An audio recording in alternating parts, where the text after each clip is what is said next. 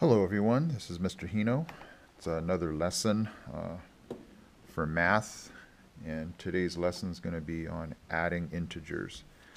Adding an integer like you see here, where you have a negative 5 plus a positive 3. And there's many different ways to solve this, but today's video is going to show how to add these integers using a t-chart. So here we go. We have a negative 5 plus a positive 3. Let me kind of push this up here. So what I ask my students to do is, if they're having a hard time, uh, an easy way to do this is just to make a t-chart and have a positive side and a negative side.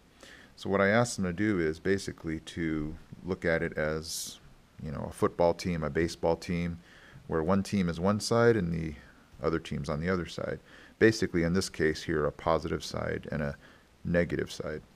So what we want to do is, because the negative 5 uh, the 5 is negative, we're going to put that over here. And because the 3 is positive, we're going to put that on here, this side. So what I tell them to do is, is one of the rules is if they are on different teams to subtract.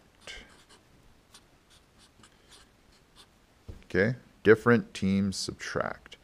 So in this case here, they would go 5 minus 3 is 2.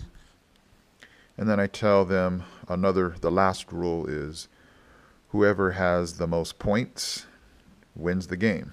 So 5 beats 3, and it's a negative, so the answer would be a negative 2. So that's just an easy way to add integers and to um, use a t-chart to get the answer relatively easy. Okay, so now let's look at what would you do if you were adding two negative integers. So if we have a negative 7 plus a negative 5, we can still use the t-chart to figure out the answer. So let's push this up here. So we got our same t-chart, positive side, negative side. So before, we knew that if they were different signs, we'd put them on different teams, and we'll, we would subtract. So let me bring that paper back here. So again, different teams, we would subtract. But in this case here, they're both on the same team. The negative 7's on the same team as the negative 5. So what I'd end up doing is just putting them on the same team. So the 7's negative, he goes here, and the 5 is negative. So we put that here. And so the rule for that now is if they're on the same team, we would add. So 7 plus 5 is 12.